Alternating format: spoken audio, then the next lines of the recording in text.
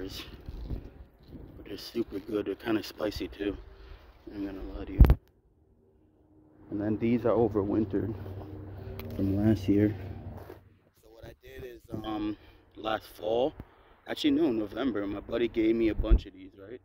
And I planted it in something small like this with dirt and basically watered it as I went over the winter and it came back. I'm gonna do the same thing this year. Like these change colors if I'm not mistaken. There's a bunch of them. I have them over here and then I have them over here as well. See? Look, you can see the you can see the old branches. Pretty cool. I forgot what they're called. But I'm gonna do the same thing as I did last year. Look how big they get.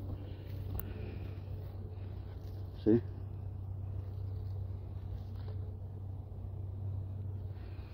Pretty cool, right? Me give you a better shot. There we go.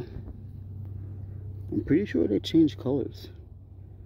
I could have sworn last year I had red ones. I forgot exactly what they're called. Yeah, I didn't think that that one over there was gonna survive. I thought it was just gonna be this one. Shit, one of them fell. Yeah, I'm not sure if they're hot. I forget.